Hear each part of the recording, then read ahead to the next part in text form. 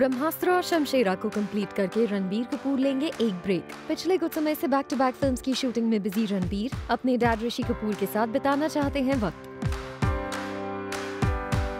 Yes, you heard it right according to sources Ranbir Kapoor फ़िलहाल film की script को नहीं पढ़ रहे हैं क्योंकि वो अपनी दो बड़ी फ़िल्म ब्रह्मास्त्र और शमशेरा को खत्म करना चाहते हैं। और कुछ वक्त का टाइम निकाल कर अपने डैड के साथ स्पेंड करना चाहते हैं जो बहुत जल्द कैंसर का इलाज करवा के मुंबई लौटने वाले हैं।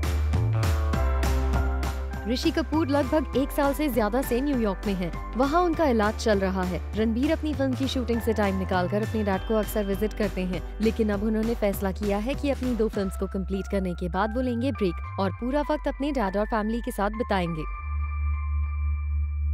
वैसे रणबीर कपूर ने लव रंजन की अजय देवगन स्टारर फ़िल्म को साइन कर रखा है, लेकिन इस फ़िल्म की शूटिंग वो नेक्स्ट ईयर ही करने वाले हैं, क्योंकि पिछले कुछ वक्त से कंट्रोवर्सीज की वजह से ये फ़िल्म शुरू नहीं हो पाई है। वैसे कुछ रिपोर्ट्स में हाल ही में कहा गया था कि कपूर फैमिली और भट्ट फैमिली रणबीर और आलिया की शादी की प्लानिंग भी कर रहे हैं। ऐसे में स्पेकुलेशन ये भी हो सकता है की कहीं ये ब्रेक किसी खास वजह से तो नहीं। वैसे फ़िलहाल तो रणबीर कपूर के ब्रेक की वजह उनके डैड ऋषि कपूर हैं, जो बहुत जल्द न्यूयॉर्क से इंडिया लौट रहे हैं। For Sandesh Akte, Zoom, Mumbai.